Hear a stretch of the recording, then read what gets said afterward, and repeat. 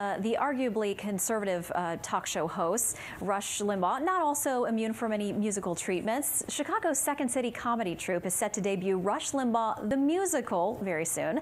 The right wing talker is just the latest subject the improvisational troupe will be spoofing. This is the same group that gave the world Rod Blagojevich Superstar. Rush Limbaugh the Musical is expected to debut next month.